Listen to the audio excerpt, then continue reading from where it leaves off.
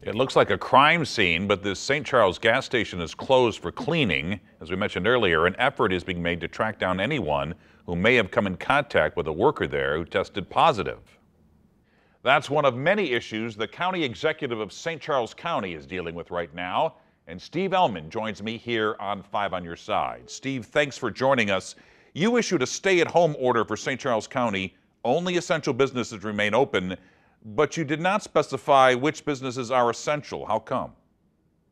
I think that's a decision that uh, I trust each of our uh, citizens to make on their own. Everybody's unique, everybody has different needs.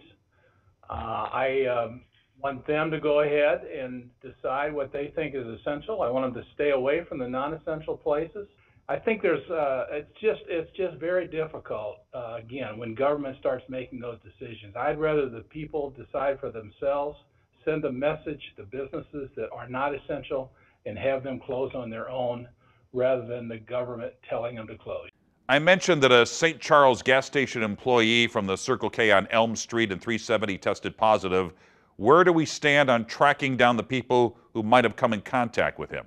Well, that is something our epidemiologists have been working on all day, and uh, they've been doing a tremendous job. We have uh, we have 15 positive cases now in the county, and they have tried. Uh, they've interviewed people and tried to find out exactly who they've been in contact with, and then contact those people and advise them uh, that they, in many cases, need to be quarantined. President Trump has indicated that we'll need to get the economy going again soon, and we might have to relax these stay-at-home orders. What's your feeling? How long can we sustain this? What I would really like uh, to be able to tell you and my constituents is that we have been able to test everybody that needs to be tested. Right now, um, our um, we're at 15 positive in St. Charles County with 400,000 people. I think St. Louis County, which has uh, 900,000 people, has probably seven or eight times as many positives.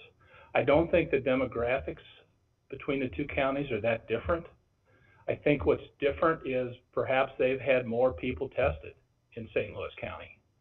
Um, it's a problem for me because, yeah, some would argue, well, we don't need to be as strict out here as St. Louis County because we don't have as many cases. That may be true. I hope it is. But it also may be just a situation where we haven't tested enough people to find out how many we actually do have. And if we could get everybody tested, then we could start looking to see if that line is still going higher, or perhaps if it's starting to level out, or, or hopefully go down soon. And then we'll have a better idea when we can get this economy moving again. Steve, we know you're busy. Thanks for your time. Stay healthy, stay safe, and we'll be right back.